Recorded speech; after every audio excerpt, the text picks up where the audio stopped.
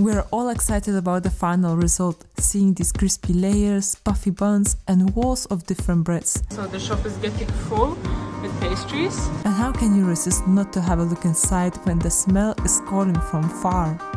In this video you will see my, one single baker and the YouTube video creator, a complete day where you will not only see the production side, but also what happens in my life before and after the working hours.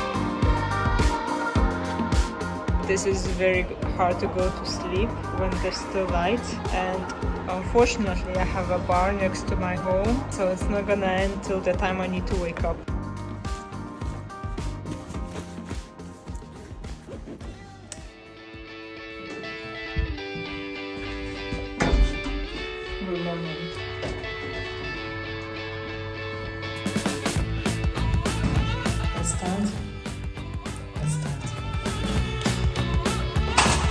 It's so pleasant to walk now at this weather. Uh, it's like 22 degrees at the moment, but today it's gonna be this temperature. So good luck, all us working today in Madrid. So I, I still hear uh, music, people still partying. Well done Madrid, that's how it's supposed to be. It's Saturday morning. A fiesta, descansar. It's summertime. It's Saturday morning.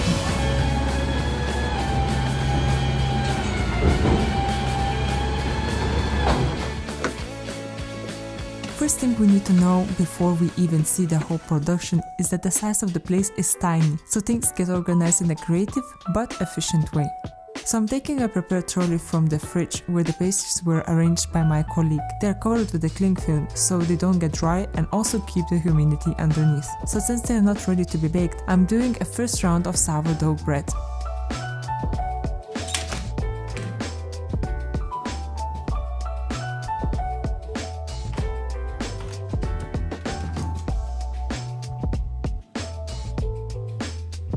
Carefully with a blade doing two stitches for wholemeal sourdough bread and put them in the heated oven.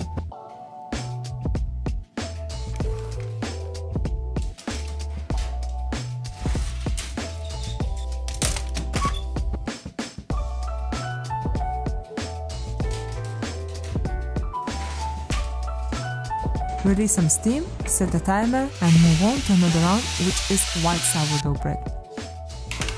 For this bread, we do one long stitch. Doing so, not only us we can tell that which bread is which, but also the front of house members can identify the type of bread just by one glance. The dough baskets are a bit humid after use, so we dry them above the oven. It doesn't take too much time, so once it's done, we immediately take them back and store aside.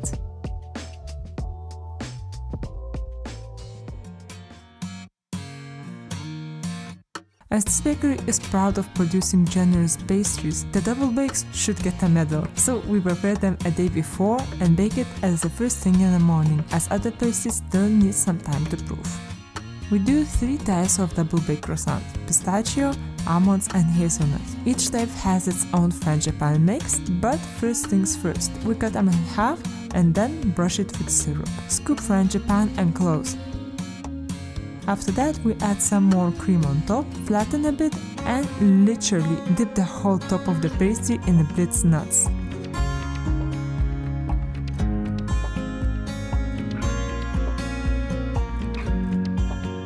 Then it is a turn for hazelnut croissants. Exactly the same method, but we add two sticks of chocolate buttons and a stick of gianduja.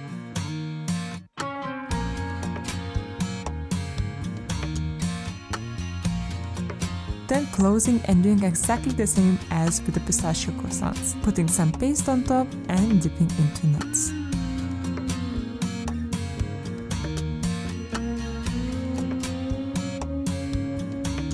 Breads are in, double bakes are in, so I can come back to pastries. We still have some more to arrange for proving, so taking the remaining croissants and pain au chocolat and putting on trays as they can start proving slowly. We physically don't have enough space to arrange them all a day before, so we do this quick job now. The same with ham and cheese croissants. Later, once they are ready, we brush them with egg wash and sprinkle some seeds on top. Then we just bake the remaining pastries like chocolate swirl or pan raisin. Next, we give some final touches for galettes. This particular one is cherry spelt galette and we egg wash the sides and sprinkle with some demerara sugar. Then follows the savory white galette, which is made of different flour and it is filled with mozzarella and cherry tomatoes. Once it is egg washed, we put some olive oil, black pepper and salt.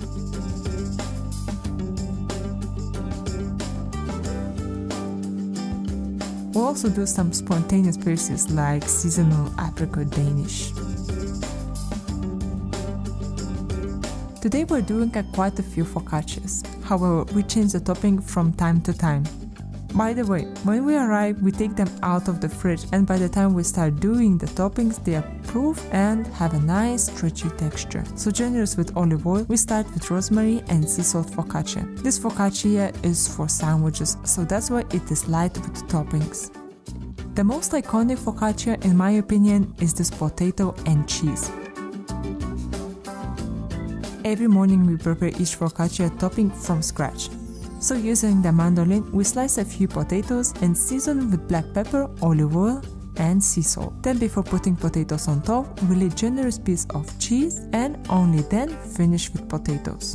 Just to make sure the potatoes cook nicely and focaccia is not too dry, we drizzle some extra olive oil. Well, Spain is a country of olives, so honestly to use the prime ingredient is a pure pleasure. Finally, just a touch of salt and rosemary and it is ready to be baked.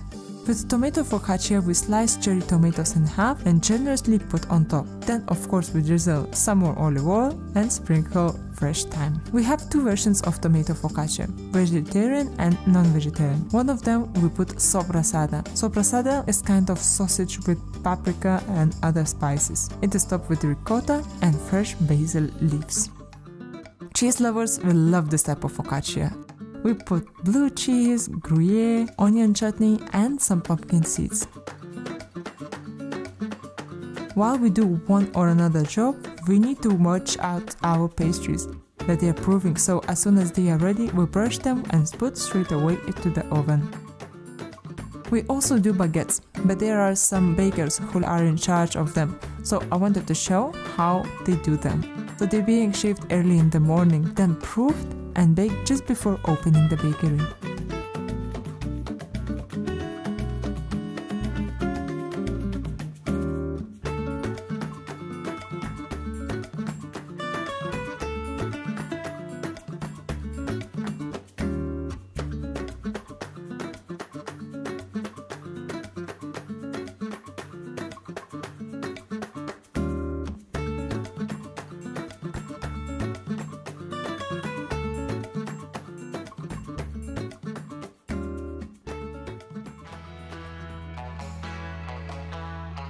Let's prepare some bostock. Oops, I'm so sorry, I have to interrupt my video because one of our amazing baristas just came and she's preparing cafecito for all of us. Sounds like a simple thing, but this moment is quite special and I take it as a proper treat.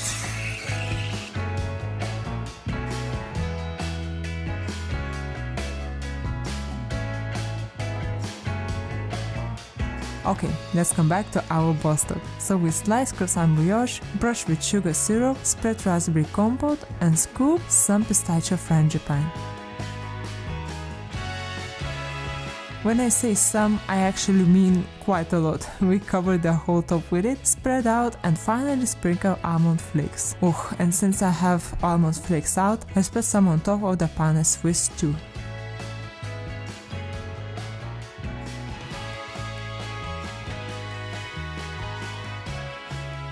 We make two different type of cookies, chocolate with nuts and plain with chocolate. Today we're doing a big batch of plain cookies. So butter gets mixed with sugar and tonka bean, then we add eggs, couple different types of flour and finally chocolate chips. So sometimes I use the ice cream scoop to shape the balls and sometimes just scales and hands, whatever works to portion them evenly. We reserve them in the fridge and use them whenever needed. The amount of brioche will last for a couple of days. We sell them as burger buns or sandwiches. Just before jumping on the making these buns, I want to share how we make these sandwiches for the counter. So we slice them in half, spread some butter, then with a slicing machine, we slice some ham and cheese. We stack on top of each other and put some mixed salad. Now let's go back to the production part. So we'll weighed up all dry and wet ingredients. So we mix all the ingredients, but we keep butter aside. We chop butter in smaller pieces and after the dough has come together and developed sufficient gluten strands, we add butter and mix until nice and silky. Bit by bit, we take out of the bowl, trying to scrape every single piece of dough. After kneading, the dough is very soft, so it has to be refrigerated overnight, so it will be easier to shape. This also improves the flavor of the brioche. We place the dough in a large container, leaving enough room to relax and proof. Pre-shape in a more uniform bowl and rest covered with a cling film. We take the dough from yesterday and prepare for an upcoming bake. Together with my colleague, we share the shaping task, so since he is portioning, I'm shaping them.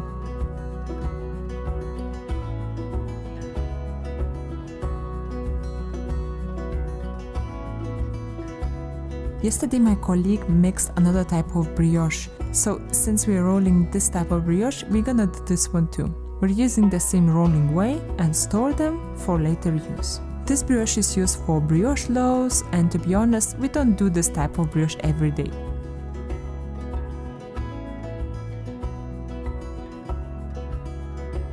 There is one last part left to do, cleaning. So we scrape the mixing bowl till it's almost shining, then clean the surface whenever we touch like scales and induction and once it's clean, we can live in peace.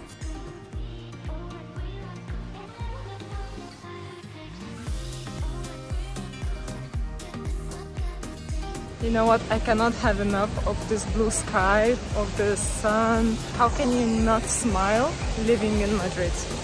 How? It is one of the most beautiful cities in Europe, I think. A casa. A descansar? No. I know I live in a flat, but I try to grow my vegetables here. My tomatitos, pimientos. I also grow avocados and plants. So when I come home, I always check if they are doing alright. So now I'm working on the new video and I'm writing down what I wanna say, my text. I will go to the room, which is the most silent. And I also need to wait till everything calms down. Uh, even though it's Saturday, it's still some action here. I cannot do things when I want. I need to adjust the noise outside. So I finished my text and I'm gonna do a quick voiceover as it's quiet now on the street so I need to quickly use the chance. I use this cover uh, to cover myself, uh, kind of to absorb more noise so the voice gets more clean when you listen. Probably looks super weird but that's how I do it. Okay, that's done. Let's get some work done. The difference between working for someone at the bakery and working for this kind of job like YouTube is the time you spend is different. At the bakery you do fixed time, but here I spend limitless amount of time.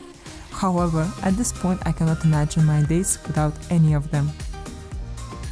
Hours go by and I feel I'm done for today. Thank you for watching and see you next week.